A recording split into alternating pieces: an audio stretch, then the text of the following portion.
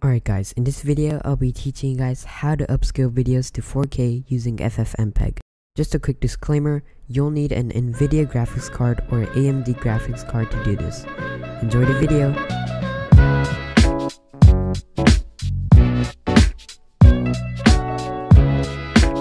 Alright, so the very first thing I want you guys to do is copy down these selections, but if you have a Mac OS or 32-bit version Windows, make sure to select these. And then just copy down these versions, linking, and license. After you do that, just go ahead and click download build. Alright, so once you download FFmpeg, it should be in a zip folder right here. So just drag it into your desktop first, and then it'll be right here. So after you do that, I want you guys to right click this file and click extract here. So if you do not have WinRAR, make sure download WinRAR. All the links will be in the description so you can extract these files. So after you do that, just make sure to delete the zip file so you only have this file left. After you do that, just drag this file into your C drive folder. Alright, so I dragged it into my C drive folder as you can see right here and make sure delete all the other like numbers and letters and just leave FFmpeg and right here. And then what I want you guys to click is the start menu and now I want you guys to type edit the system environment variable so it should show up right here. Just go ahead and click that and I'll drag it right here and click environment variables and then in the top menu just click path and then click edit.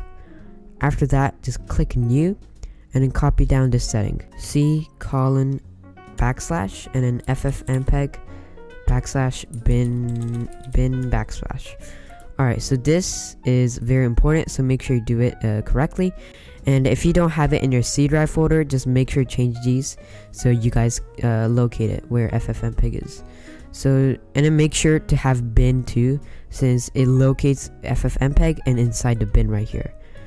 So, after you guys do that, just go ahead and click OK and OK, but I'll just be deleting this since I already have it right here.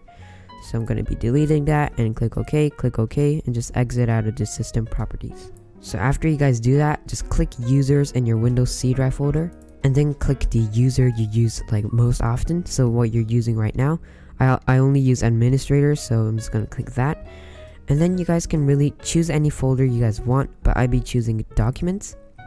And then after you guys do that, just go ahead and create a new folder and name it upscaling or anything you want. Upscales, upscaling, I don't really mind.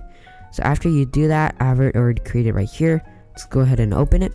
Alright, so what you guys want to do is just right click this file, click new, click text document, and then name it anything you would like, but I'm be naming it 4K 4K converter. Alright, so now that you've done that, just click this, right click it, and click edit. After you guys done that, just copy down this little code line. I will be pasting it on the description. So after you've done that, it should look like this. And then all you guys want to change right here is the file path. So what you guys want to do is click file right here. And then just click this empty space you can see right here. And then just press Ctrl C on your keyboard to copy it. After you do that, just select this file path and then paste it. Make sure to have a space between these so it actually works. Alright, so if you have an NVIDIA graphics card, you guys can just leave this and then I'll be teaching you guys what to do next.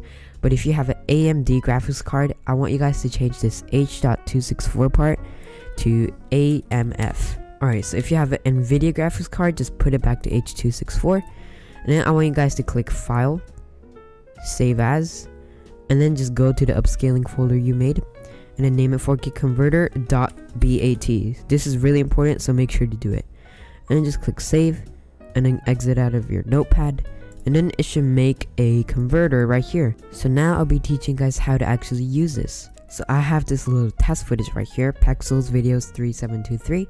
So I want you guys to just rename your video to convert. And then it will only work if you rename the video to convert so make sure to do that. And then i want you guys to double click the 4k converter and then it should start converting. It should open up like the command prompt and then it will load a bit. So it will take a, uh, a bit if it's like a longer video but it should be quick if it's a short one so then it will make a new file with the new footage called uh, video and then that should be the 4k converted version so yeah that's pretty much it for today's video. I really hope you guys learned something new. Make sure to comment down below if you have any questions, and I'll see you in the next one. Bye!